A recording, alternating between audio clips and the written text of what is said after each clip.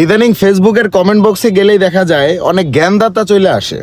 মানে অনেক জ্ঞানদাতারা আছে ফেসবুকে দেখা গেছে বিভিন্ন ধরনের কন্টেন্ট বলেন, বিভিন্ন ধরনের ছবিতে গিয়ে বিভিন্ন জ্ঞান দিয়ে আসে।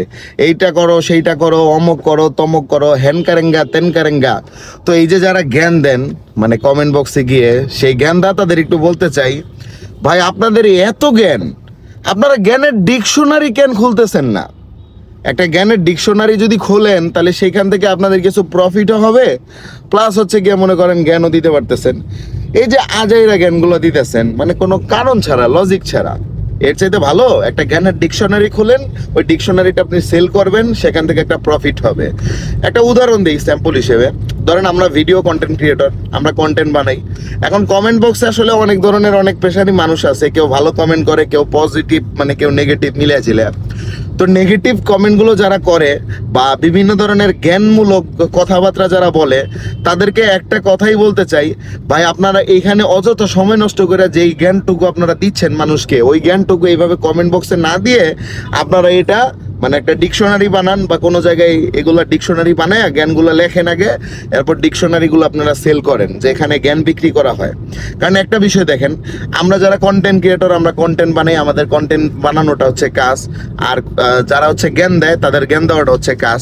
এখন আমরা যারা কন্টেন্ট ক্রিয়েটর আমরা দিন শেষে যখন আমরা একটা কন্টেন্ট বানাই কন্টেন্ট বানাই যখন হচ্ছে ফেসবুকে ইউটিউবে তথা সামাজিক সামাজিক যত মাধ্যম আছে, ওইগুলোতে যখন আপলোড করি, সেখান থেকে একটা রেভিনিউ কিন্তু পাই, একটা আর্ন কিন্তু আমাদের হয়, ঠিক আছে? বাট জ্ঞানদাতা যারা আছে, তাদেরকে কিন্তু মানে তাদের কিন্তু কোনো আর্নিং নাই। মানে তাদের কাজটাই হচ্ছে যে জ্ঞান দেওয়া। কথা বুঝছেন? তো জ্ঞানদাতারা দয়া করে একটা ডিকশনারি খুলে বসতে পারেন, এইভাবে জ্ঞান না দিয়ে। ঠিক আছে? দেখি তো ভাই ফেসবুকের কমেন্ট সেকশনে গেলেই দেখা যায় অনেক জ্ঞানদাতা আছে। একটা বিষয় বলি মাইন্ড করবেন না কেউ আবার। আমি সবাইকে উদ্দেশ্য করে কথাগুলো বলতেছি না। কিছু কিছু জ্ঞানদাতাদের উদ্দেশ্যে কথাগুলো বলতেছি।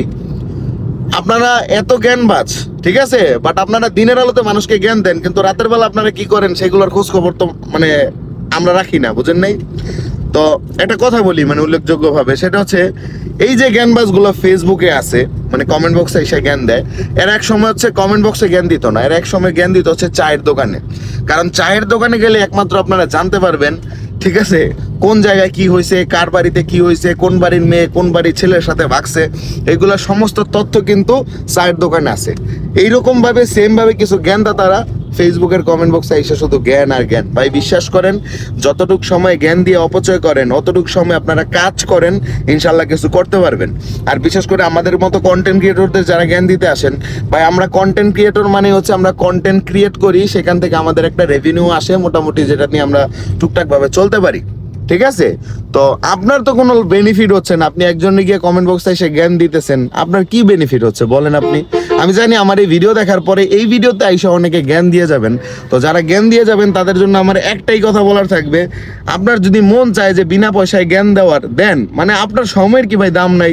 যদি সময়ের দাম থাকে, তাহলে কোন দুঃখে গিয়ে মানুষের কমেন্ট সেকশনে গিয়ে জ্ঞান দিতে আসেন? ঠিক আছে? সবাইকে বলতেছি না কথাগুলো, কিছু কিছু মানুষকে উদ্দেশ্য করে বলতেছি। তো সবাই বিষয়টা নিবেন না।